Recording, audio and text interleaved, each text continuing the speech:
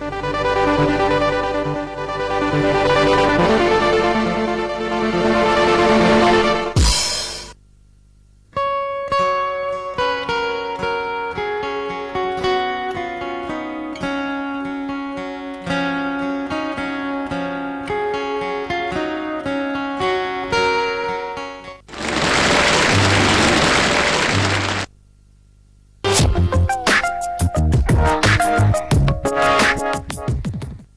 大家好，欢迎来到时代管理工程的现场。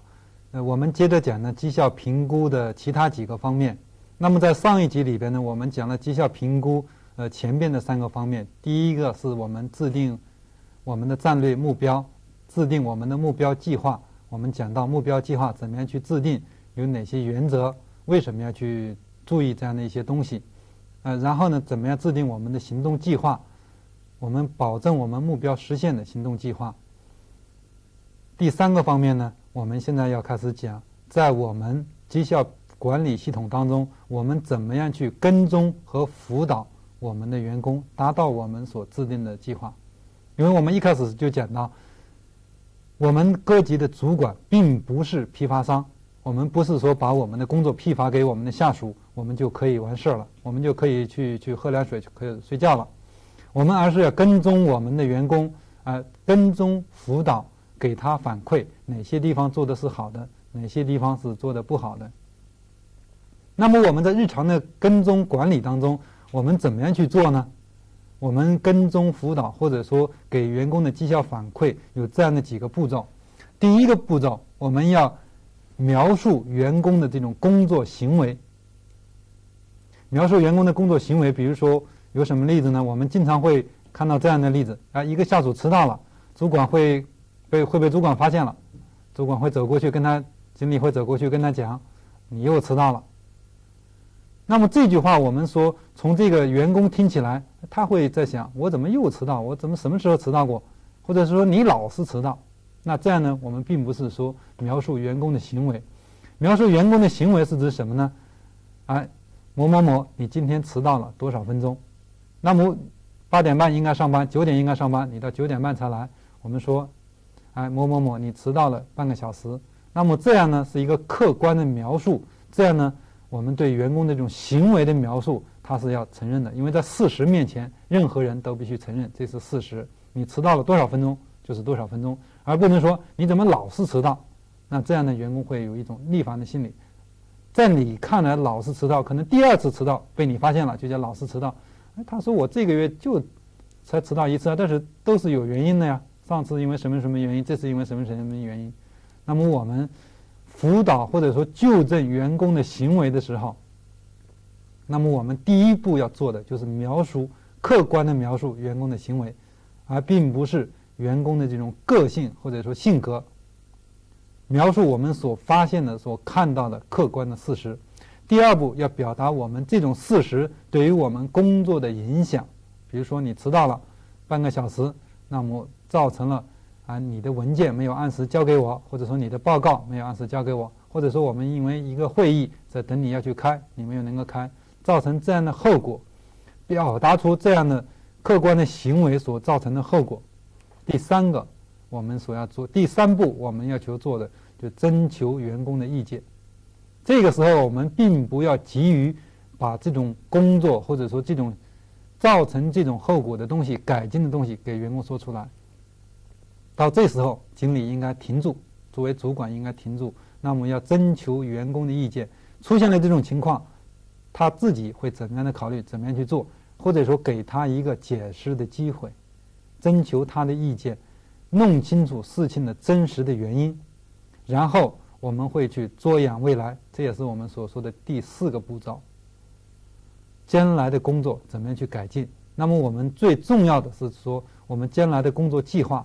怎么样去改进？这也是我们主管和部署都很关心的一个问题。我们这件事情做得不好，或者说这件事情做得好，那么我们要也要好指出原因。刚才我们举的例子呢，是指呃纠正员工的行为迟到了。那么我们说表扬员工，或者说肯定、巩固员工的优秀的表现、优秀的绩效，同样也是要这样的四个步骤。比如说，我们会说，哎，张经理这个月的销售完成的不错。那么这样的表现呢，往往是不太好。那么我们怎么样去描述具体的行为呢？而是说，啊，张经理这个月的大客户的销售额提高了百分之十五。那么我们这样呢，他会说啊，我很明白上司对我哪个方面是满意，对我对于大客户销售额的提高是满意的。那么这个就表明它是一个工作努力或者说改进的方向。那么表达后果会说啊。后果是对于我们的销售额的提升有什么样的帮助？然后呢，征求意见，我们会说啊，你看你是通过什么样的方式提高了大客户的销售额？那么这样呢，给员工一个表达，或者说给员工一个自己呢表达自己成就感的一种，自己表达自己成就感的一种机会。员工会说。哎，我是通过什么样什么样的方式？你看某某某大客户，那个大客户特别特别的困难，在谈判当中，我们谈了多少次多少次，然后最终把这个客户单子签下来。这样呢，给员工一个表达的机会。同时呢，我们也是从这种成功当中看看是不是可以有复制的东西。我们这样的大客户的谈判成功的经验，在其他的业务当中，在其他的项目当中，是不是可以复制？是不是可以同样的去使用？这是说我们的啊，征求意见，让员工去表达和解释，不管他是做得好还是不好的方面，都要让员工去表达，让他自己去说明这其中好和不好的原因。最后一个呢，我们说做养未来，好的也是一样，哎，这个月增长了百分之十五，那么下个月我们的销售额会不会有更高的增长？我们怎么样去提高其他客户的销售额？是不是可以去这样的应用？那么，这是我们所说的反馈的第四个这四个方面。第一个，我们描述行为；第二个，表达后果；第三个，让员工去表述、征求意见。也就是这个时候，我们千万要停住，让员工自己去解释和说明，让员工自己去给自己一些表扬。那么，最后一个，我们做养未来的改进。那么，我们。反馈的反馈的这样的内容呢，是说这样的四个方面。那么我们纠正员工的行为，员工做的不好了，我们怎么样去纠正员工的行为？这是很多主管做的不好的一个方面。有的可能是说员工做的不好，他自己会知道，那么让他自己去改进。实际上并不是这样。作为主管或者说作为经理，要表达你对员工的期望，哪个方面做得好，哪个方面是可以接受的，哪个方面是不可以接受的。为什么？什么东西是标准是可以接受的？什么东西是不可以接受的？那么纠正员工的行为，我们往往认为表扬员工是啊容易做到的，纠正或者说去改善员工的绩效是大家头疼的事情。那么我们纠正员工的行为，我们应该怎么样去做呢？有这样的几个步骤：第一步，要非常明确的说出你所关注到的或者说观察到的员工的问题所在。或者说工作习惯不好的地方，需要改进的地方，在这个时候我们还是要注意，我们要以客观真实的这种态度，客观的描述观察到我们所看到的行为。比如说我们刚才举到的例子，你迟到了三十分钟，那么这是一个客观的行为，而不能说是你老迟到。另外呢，我们要说关注。指出引起你所关注的原因在什么地方？就是说，你为什么啊要关注他的这种行为？因为他的这种行为影响了工作。比如说，你迟到了，那么影响了我们一个会议的召开，因为这个会议是由你准备的相关的内容。那么第三步呢，我们要询问我们的部署，或者说询问他为什么会有这样的原因，让他给他一个解释的机会。他会说这样的原因，那样那样的原因。那么我们作为主管，这个时候最忌讳的一点就是说，我不管你，你一定要给我做到某一某种程度、某种程度做到什么样，我不管你，你下次再迟到的话会怎么样怎么样。当然呢，客观原因我们就没有能够听得进去。比如说我们这一次销售，那么销售的单子没有签下来，那么主管会说，我不管你什么什么原因，你必须给我下一次完成。那么这呢是一种不正确的做法。正确的做法呢应该是。以开放的这种态度去聆听员工解释和说明，这是我们了解部署工作一个绝好的机会。他是不是完成了？完成的怎么样？他是怎么样去完成的，或者说怎么样做没有达到我们预期的效果，那么我们需要去分析。这也是体现我们主管和部署之间，我们一开始就提到的，他们是一个绩效伙伴的关系。你有十个部署，有九个都没有完成他的工作目标或者说工作计划，那么作为主管，可能首先你也应该打板子。那么我们说，主管和部署、经理和部署是一个绩效伙伴的关系，所以说我们这个时候要帮助。部署去一起改善他的工作，而不是站在一个事外局外人的角度去看部署没有完成工作。那么我们在下一步，我们分析分析这样的原因，我们听部署的解释。那么我们下一步就应该去让部署主动提出他改善的建议。在这个时候，只要你在仔细的听，他会去分析。你做适当的引导就可以。他会说，如果下一次我们把我们的产品介绍，或者说把我们的市场，或者说我们跟客户之间，哎，做一种某种的宣传，我们的产品可能就会销售的更好。那么呢，这个时候他会主动的提出具体的解决方案。我们希望啊，在这个时候，作为主管或者说作为经理，即使你知道这个问题解决方案。那我们也要以部署的名义提出来，这样呢，他提出自己提出解决方案，等于是在做一种承诺。那么他希望通过这种解决方案去解决问题。那么最后呢，我们就要制定一个具体跟踪的日期和行动的计划，让部署来制定。啊，我们已经知道怎么样去做这个工作，那么我们具体的行动计划是什么？日期是什么？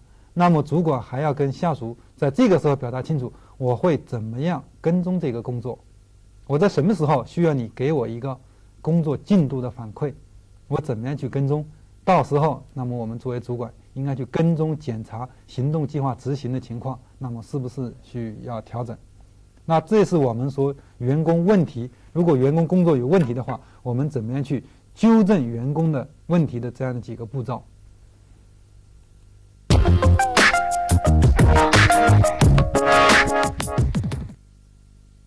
另外呢，我们给予反馈还有一个技巧，就是说，往往是一个三明治式的，或者说是我们一个汉堡式的。汉堡式是什么呢？我们汉堡式往往是中间一层，那么上下是两个面包，中间夹一层其他的东西。那么我们给予反馈呢，一般的反馈呢，在工作上的反馈也往往是这样。首先，我们会给予特定的表扬。那么表扬呢，往往我们也会是说具体的某一件事情。比如说，我们往往会认为表扬人谁都会，事实上并不这样。我们赞美和表扬一个员工的时候，我们要具体和明确，而且确实是发自内心的，而且不能泛泛的。如果去表扬一个员工，他往往呢会并不觉得，呃，他是是在有什么样的特殊的感受。比如说，我们说，啊，表扬一个员工说，你今今天我们看见一个一个员工说，你今天的衣着真是很漂亮。那么这样的话呢，往往会一个员工并没有很特殊的一个一个感受。那么我们如果真的想表扬，我们要具体明确，比如说你的今天的领你的领带确实非常漂亮。那么员工呢，在这一方面呢，就会有很很好的一个感受。第二个三明治，我们说中间加的这个呢，我们会往往指出员工需要改善的地方，在哪个地方？就需要特定的行为的表现，需要改善。最后呢，我们还会三明治的第三个部分，就是说还要以肯定和支持，指出他的不足，哪些地方需要改进。最后呢，我们还是肯定他的这种成绩。这就是说我们绩效的辅导和绩效的呃改进。那么绩效辅导和绩效改进在员工的绩效管理系统当中是一个很重要的日常的工作。有一个很重要的建议，就是说我们在员工的绩效辅导和日常的管理当中，重要的事件我们应该留有书面的记录，这也是方便我们年终考核时候的一个重要的资料的记载。我们绩效管理或者说年终的绩效评估是不是能够准确和有效？那么我们平时的工作的记载。工作的记录，每一次跟我们员工的重要的工作的谈话的记录，应该有适当的保留。那么这是说我们说的绩效管理当中第三个重要的，我们绩效的辅导和绩效的改进。系统绩效管理系统当中第四个重要的部分呢，就是说我们的绩效评估。那么在绩效评估这个当中呢，有一个最重要的一个环节，就是说绩效面谈。我们每次做绩效评估的话，会跟员工做一个绩效面谈。那么绩效面谈，往往呢会是一个很重要的一个环节。我们在绩效面谈以前，主管呢应该准备一些什么样的工作？那么大概呢包括这样的几个方面。第一个，就是说员工这一年的工作做得怎么样？那么你要去做一个回顾和检讨。那么呢，还要把员工当初制定的目标的计划的考核的标准和他的行动计划的执行的情况都要做一个总结。针对这些标准，看他哪一些是完成了，哪一些是没有完成。那么第二个内容呢，要做的内容呢，就是回顾员工的工作，包括他的工作技能、他参加的培训、过去的工作或者说绩效的记录。我们说刚才说到，在我们日常的辅导和改进当中，要留有记录。第三个，初步的给员工一个评估，你自己现在这个地方给员工的工作绩效做一个评估。第四个，我们要注意员工，你要注意员工可能在哪一个方面跟你的意见有所分歧，比如说他认为在哪一个方面标准已经做到了，而你认为没有做到，已经。可能存在分歧的地方，我们要做一个考虑。那么在这些地方，可能是我们要跟员工去探讨的重要的内容。第五个方面，我们所要做的就是说，要考虑员工的职业机会，考虑员工的职业限制。那么我们这个员工今年在这个地方做的绩效怎么样？那么我们要考虑到明年他可能会能够做到什么样的程度，在什么地方去需要做改进。这是说。我们在绩效评估当中，或者说在绩效面谈前，主管呢应该准备的工作。那么在绩效面谈前呢，员工应该做一些什么事情呢？在绩效面谈前，员工呢首先应该他对自己的工作有一个总结，有一个认识，在哪些方面已经做到了，他同样要针对年初的目标和标准去检讨自己在哪个方面做的。比较好，哪个方面还没有做到？做一个自我的评估，这样呢也是一个所需要的。那么在绩效面谈当中，我们作为主管必须要关注什么呢？因为在绩效面谈当中，作为主导面谈的一方，我们各位主管呢要注意这样的几个问题。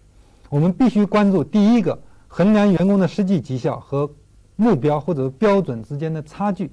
其他的，比如说个性、性格。都不是我们所要讨论的东西，我们要关注于工作本身，这是我们第一个必须注意的。衡量员工的实际的工作绩效和我们目标和标准之间的差距。第二个，我们说绩效评估对于员工绩效管理对于员工当中一个重要的作用，也是承认员工对公司所做的贡献。通过一年的工作，通过一个阶段的工作，我们给员工一种认可和承认，因为我们作为人性的需求，每一个人都需要这种认可和承认。所以说，我们在绩效评估当中，我们要认可员工所做到的、做得好的方面，要给他不要吝啬你的认可。第三个呢，要解决员工完在完成绩效方面的新的问题，或者说一直存在的问题。我们这个也是我们所要关注的，这也就是说，我们绩效评估、绩效评估或者说绩效管理着眼于未来的一个重要的表现。那么，我们要看员工在完成绩效方面有什么样新的问题的出现，这些问题他没有解决好，或者是说有一个问题它一直存在，这个问题一直就没有解决的很好。那我们我们这个时候要去和员工探讨这些问题怎么样去解决，制定出他的行动计划。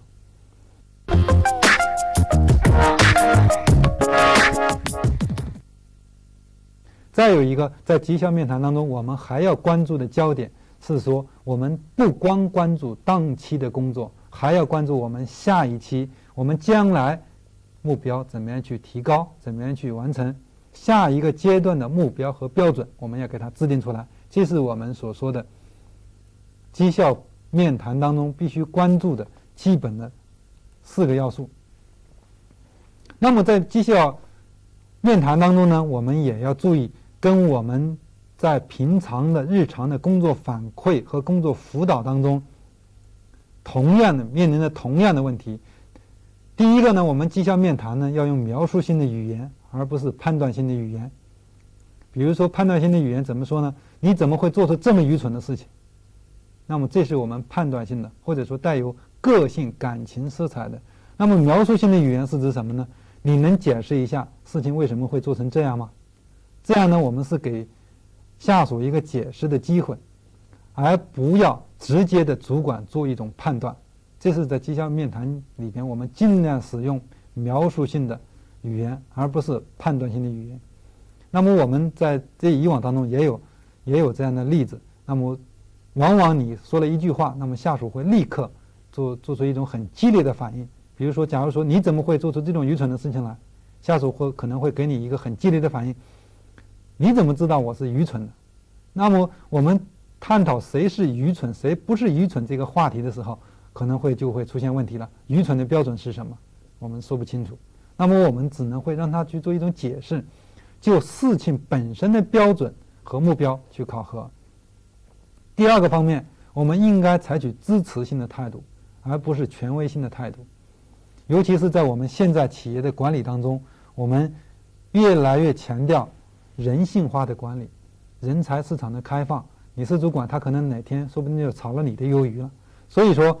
我们要采取一种支持性的态度，而不是一种权威性的态度。支持性的态度是指什么呢？要准时完成任务，要完成这这件工作的话，你准备怎么样去做？那么我们是在征询和探讨这样的问题，而不是说直接给我们的部署去下达我们的这样的指令。你必须这样做，这件工作你必须这样做才能完成，没有更好的办法。这样呢，下属可能。实际上也只是只有只有这样的好最好的办法，没有更好的办法了。但是呢，下属可能心里呢并不太舒服。所以说，我们要采取支持性的态度，而并不是采取命令或者说权威性的这样的一种态度，跟下属去做我们的绩效面谈。那么另外一个方面，我们的绩效面谈当中要反映出平等，而不是优越，并不是说你作为主管就是给下属一个评判。给下属一个结果，我们这双方呢是平等的，双方呢是一种伙伴、绩效伙伴的关系，啊，你做得好，那么我当然是非常高兴；你做得不好的话，那么主管应该比下属更着急。这是表现在什么呢？就是他做的不好的话，你不应该作为局外人，而是应该帮他一起去分析原因，寻找解决问题的办法。这样呢，下属才会跟主管，我们说在这一方面是平等的。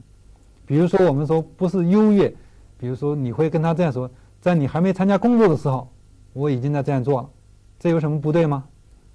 这呢，就是体现出主管的一种优越感。那么换句话，你可以怎么样去讲呢？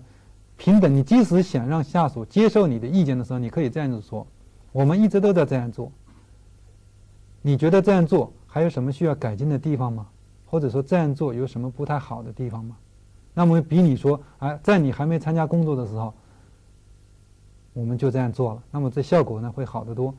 因为一旦你说你还没参加工作呢，我已经在这样做了，下属就可能没有表达的勇气和机会来把自己好的建议或者说好的想法提出来。另外一个，在绩效面谈的时候，我们要接受他人的意见，接受部署所提出来的意见。而不是要独断专行。比如说，这是最好的办法，你去做吧。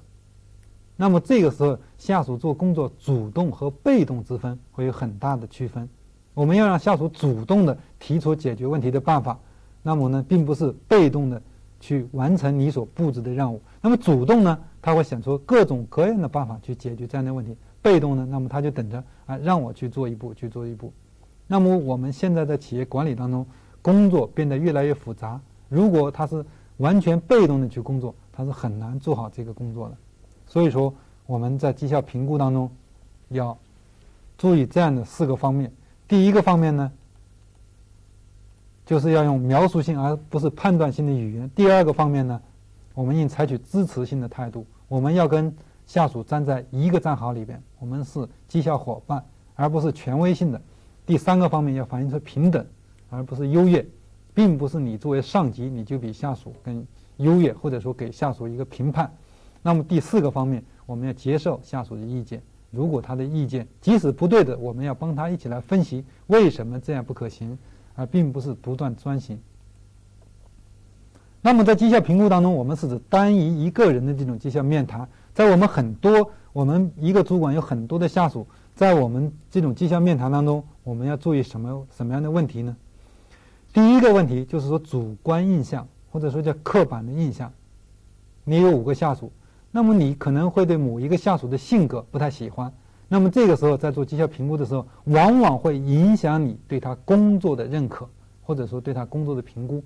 作为主管，我们要一定清除这种印象，我们要以绩效目标计划。和他绩效达到的程度两项做一个比较，做一个说明，哪些是做到的，哪些是没没有做到的，而不能以主观的或者说刻板的这种印象去，那个那个下属跟你的印象好的话，那么可能他哪个方面都好，而并不是这样，我们而是要去分析哪个方面，哪个方面的工作他做得好，哪个方面的工作没有没有做好。另外一个要避免的，就是说我们叫心境效果。心境效果是指什么呢？大家可以看到一个很有意思的现象，就是说在我们每一年度要做绩效评估的时时候，哎，十二月底了，或者说一月初了，我们要做今年的绩效评估。那么你会看到这个时候，公司所有的人员非常非常忙，大家都在加班。为什么呢？有的人就想了，我做了一年的工作，我的主管可能也看不到，这几天要做绩效评估了，我得加班。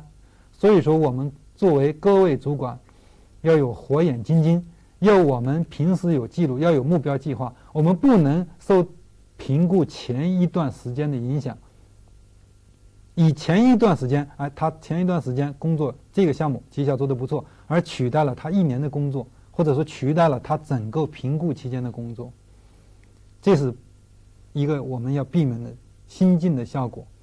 另外一个呢？我们还有的主管在绩效评估当中，往往呢怀着一种怕得罪人的心理。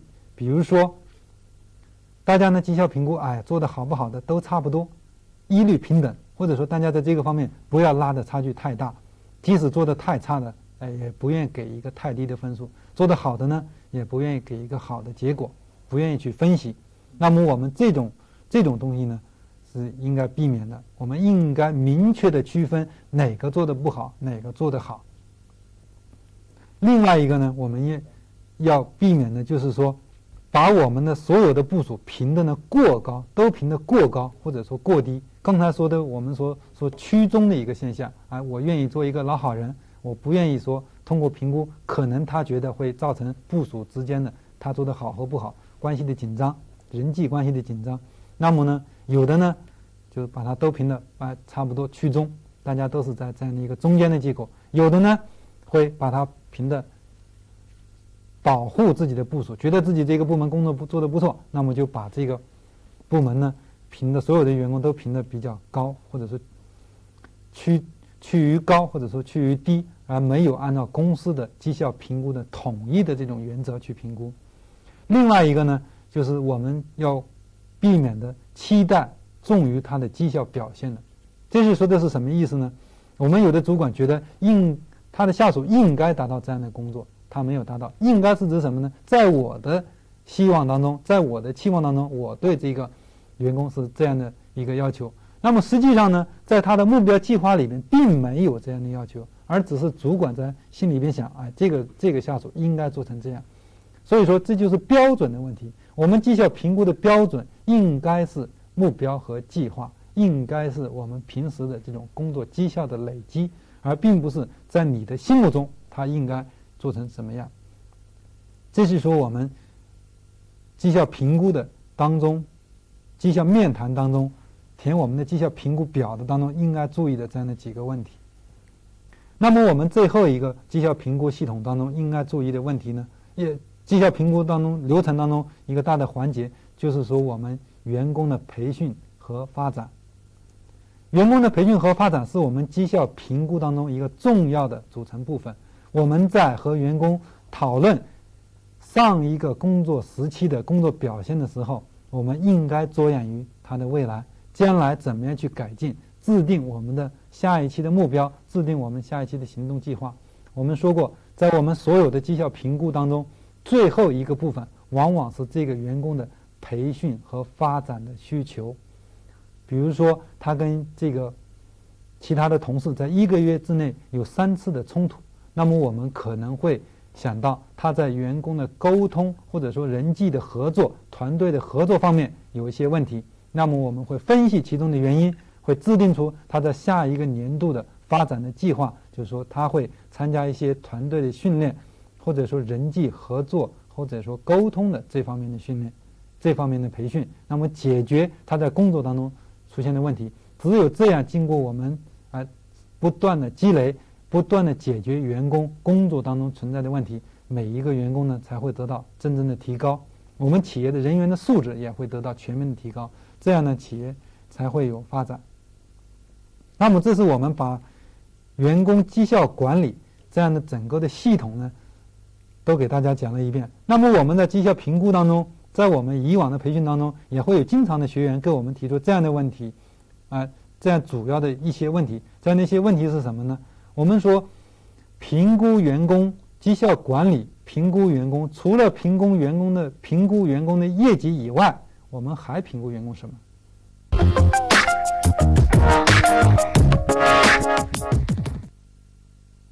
我们知道，在我们国家公务员的考核里边，评估里边有德、能、勤、绩四个方面，绩就是指他的业绩。那我们在企业里边呢，不同的企业有不同的做法，有的企业认为。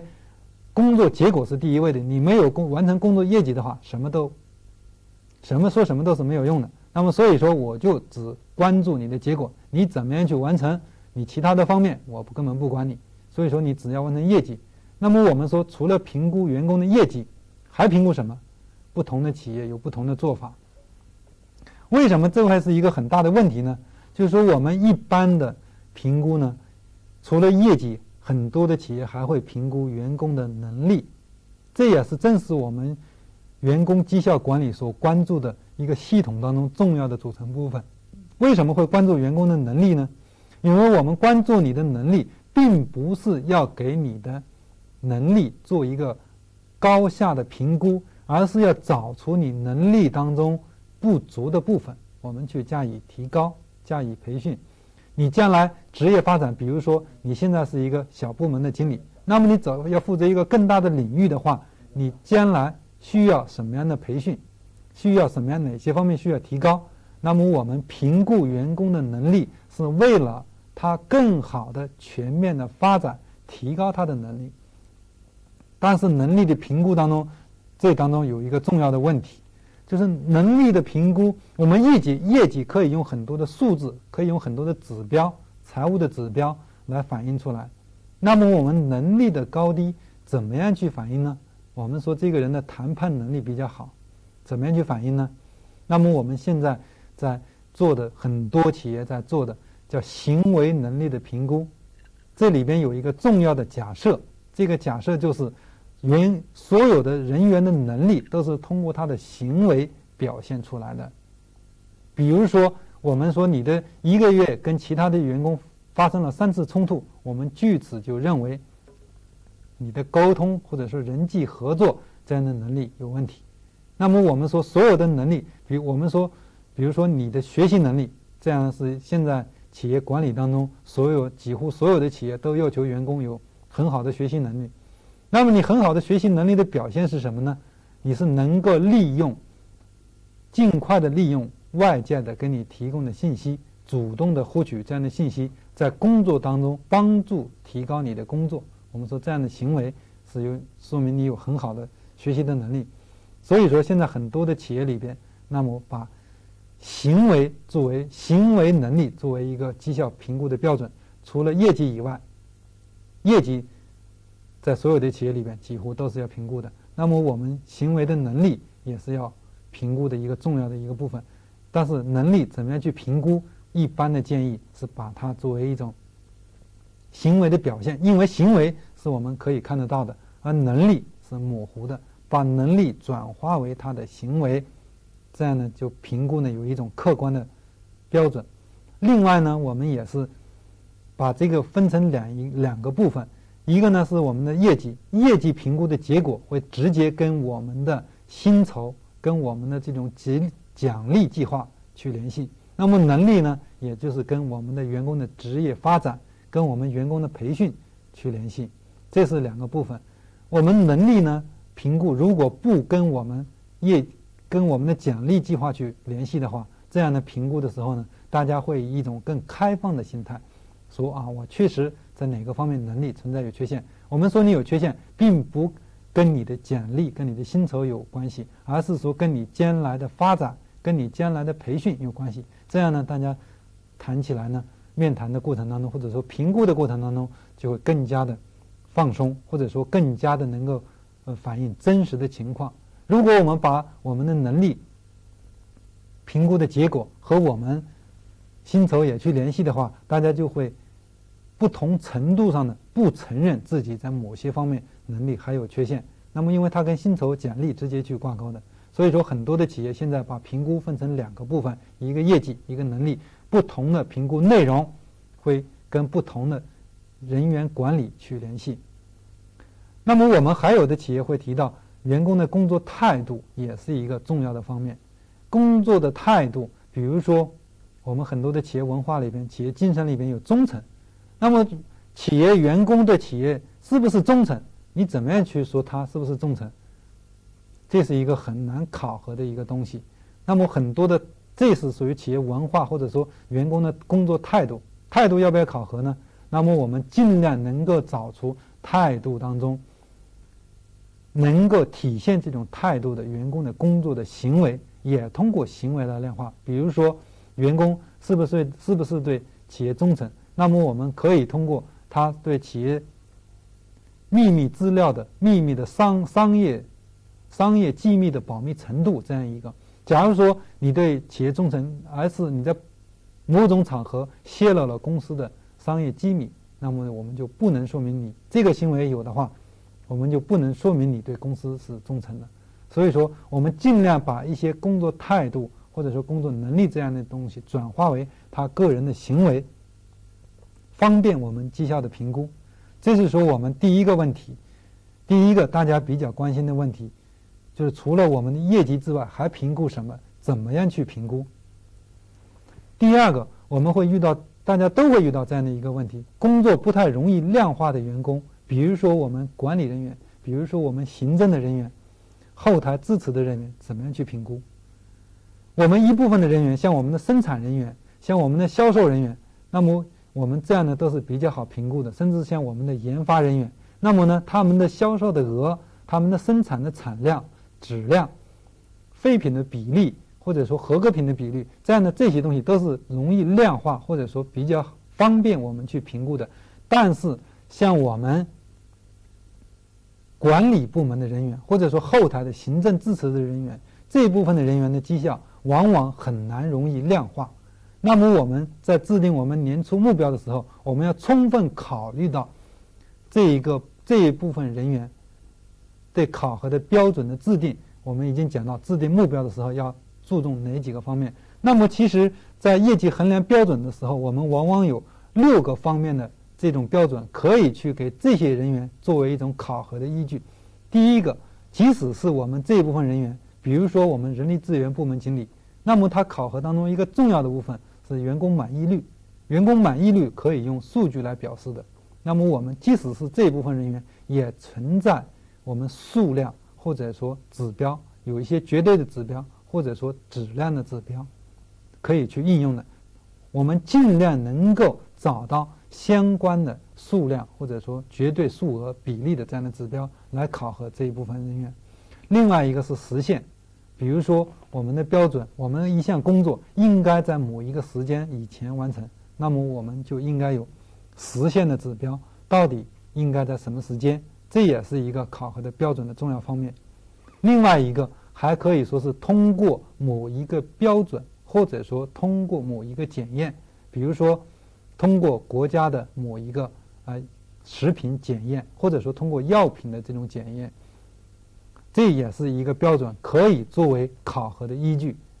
另外，第四个方面，主管的认可或者说接受，也可以作为一个标准。比如说你的计划，我们说你一次性或者说两次，不超过三次通过你的行动的计划，通过这个项目的计划，这也是一种考核的标准。主管认可或者说接受。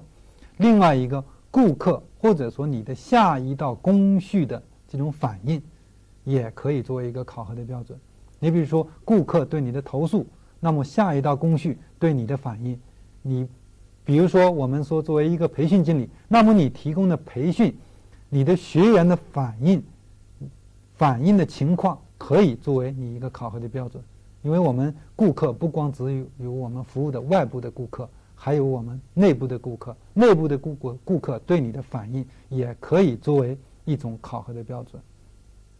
再有一个重要的方面，也就是第六个方面，那么我们这些人员的考核的指标或者说标准。还可以有一个符合公司制定的工作程序，或者说工作的制度，或者说工作的标准。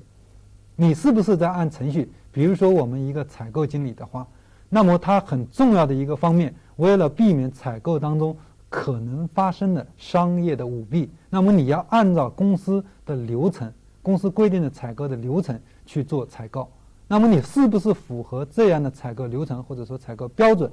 是一个很重要的考核的指标，比如说，你每一个商品的采购，每一个原材料的采购，你要提供三家以上的供应商作为比较的依据。那么，作为公司选择的依据，如果你只提供一家供应商，那么说明你这种采购没有完全按照公司的采购的标准或者说工作的流程去执行，这样我们就可以说你这个考核的标准是不满不符合的。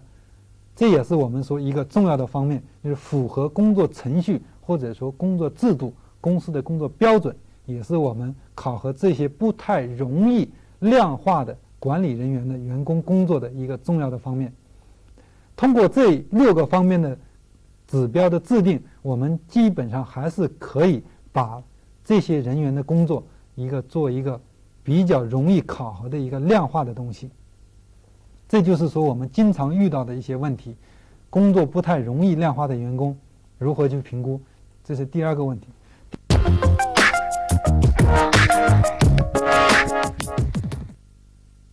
第三个问题，我们由谁来给员工做这种绩效评估？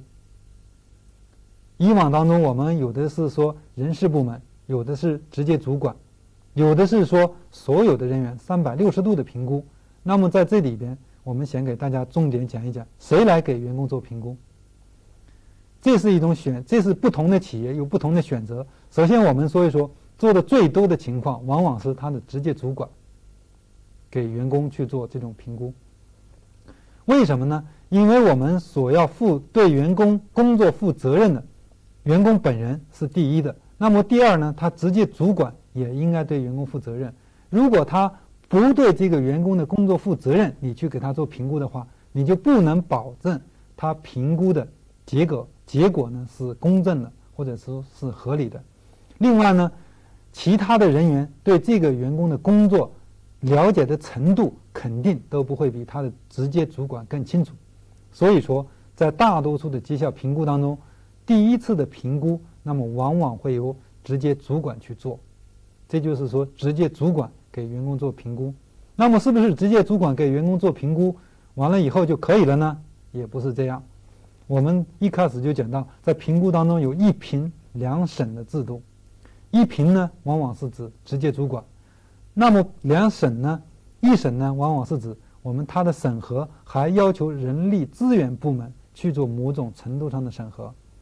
为什么呢？人力资源部门要保证整个公司的绩效评估。在一个系统范围内是公正的、合理的，大家都在执行同样的一套标准。生产部门、财务部门、销售部门，那么执行的评估标准是相对统一的。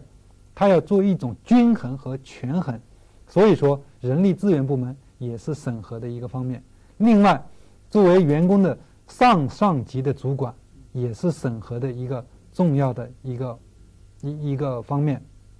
为什么会是这样呢？我们往往会直接主管，有时候出现一些问题。为了保证我们评估的合理和公正，那么我们为了给员工、给直接主管一个监督的机制，那么我们还需要他的上上级主管来做一个审核。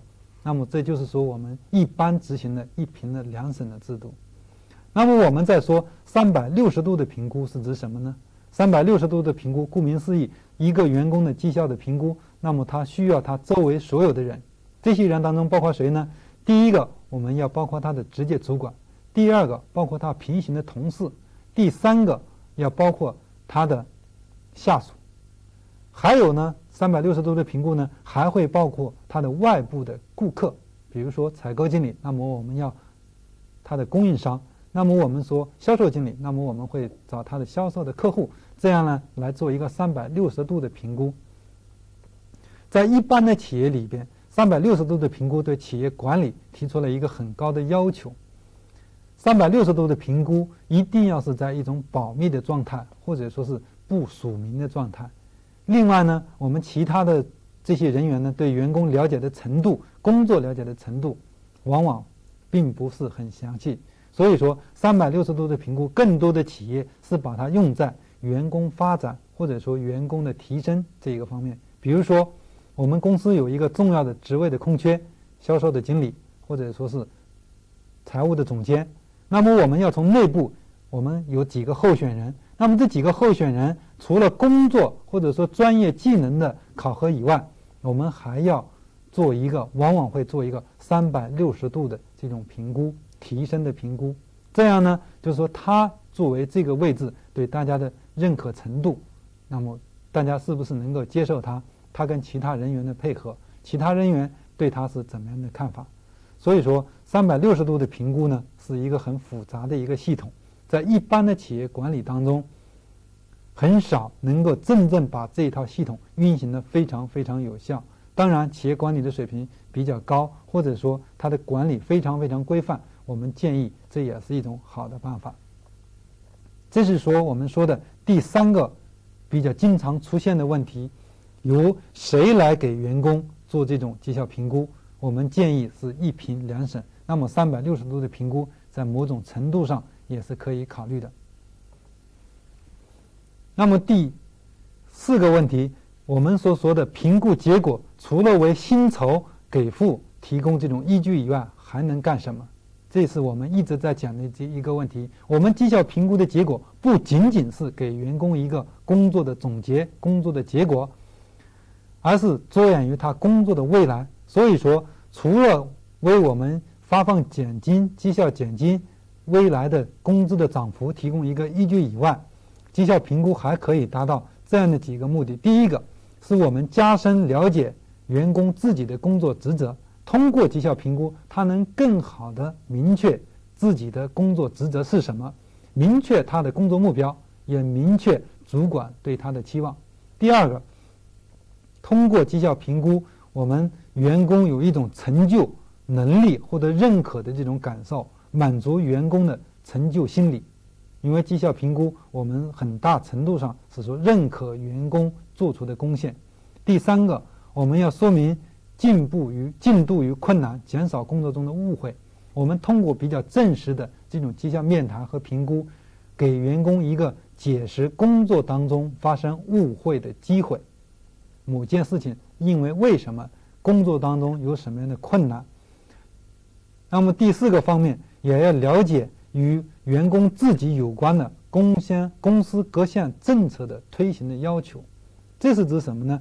是说我们。在工作当中，公司不同的制度对我们员工有各种各样的要求，有些方面我们可能并不是很明确，所以说我们要通过绩效评估，可以让员工明白公司的各项管理制度对他本人有什么样的要求。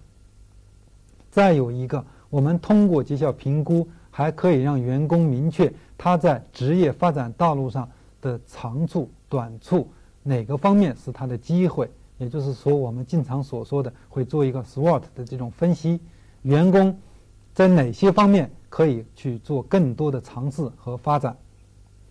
另外呢，也是通过绩效评估，我们还可以听到下属给我们工作的建议，让员工呢对公司有员工和公司之间有一种认同的认同感。那么，所以说我们绩效评估除了为我们的薪酬提供这样的依据以外，我们呢还能做到这样的六个大的方面，而且每一个方面是不是能够真的达到。跟我们整个绩效评估的这个系统运行是不是有效很有关系。假如说，假如说我们绩效面谈只谈它的这种结果，而没有把它工作当中出现的这些问题、改进的计划能够说清楚的话，那么我们可能就达不到这样其他的一些一些我们所希望绩效评估当中体现出来的这样的一些作用。所以说。我们绩效评估每一个环节的执行，对我们这样的能不能达到这样的结果，都是有影响的。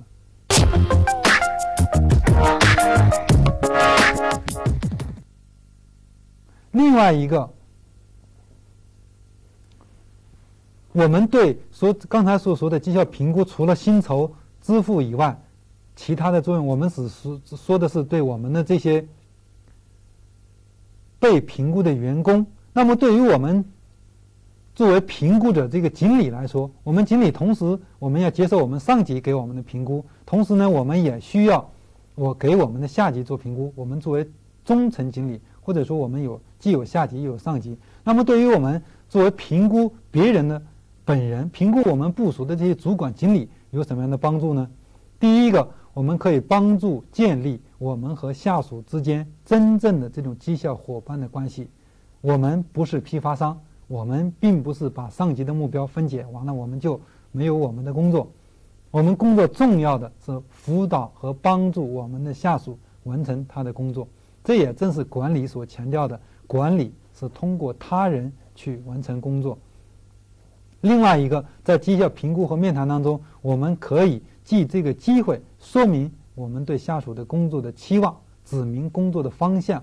只说明我们对哪个工作是非常非常的关心，我们哪个是我们很关注的，哪些是需要去做改进的。另外呢，也可以听到我们下属对工作的建议或者说看法，了解下属的真实的看法，这也是我们主管、我们经理做好工作的一个重要的方面。另外呢，还可以取得下属对于公司、对于主管本身工作方式、管理方式的。看法或者说建议，再有一个重要的方面，我们可以借绩效评估的这样的一个机会，绩效面谈的机会，向下属解释公司一些人事、人事变动、薪资调整、人事行动的计划的机会。我们为什么去做这样的行动计划？为什么人事这样去人事安排去做这样的调整？那么呢，借此可以做一个机会去做解释。最后一个，对于我们主管来说，我们还可以和员工共同的探讨我们的行动计划、培训下一期的行动、培训的开发、员工的发展这样的计划。这也是说，我们除了薪酬以外，我们要我们绩效评估给我们的主管和我们的员工能够带来什么样的好处。那么，再有一个经常会提到的问题，就是说多长时间？做一次评估，绩效评估周期是怎么样的？这个问题呢，其实应该说是没有绩效评估。用我的话来讲呢，没有周期，它没有固定的时间，说应该是多长时间，应该是什么时候做评估？